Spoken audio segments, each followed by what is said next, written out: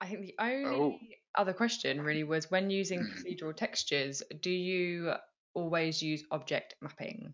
It depends. Usually I use object mapping because this way I also used it in here. So if I grab this stone here, for example, and I rotate it, um, the whole thing, the whole shader is based on the axis of the object and it will always stay relative to this axis. So when I rotate this object, the noises are um, in the same position.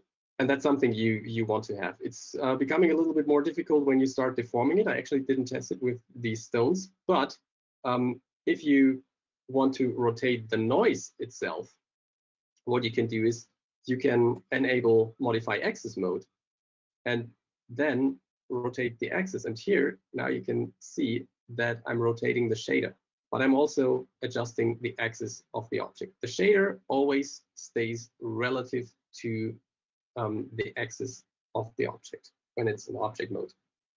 But that's also what I like about it.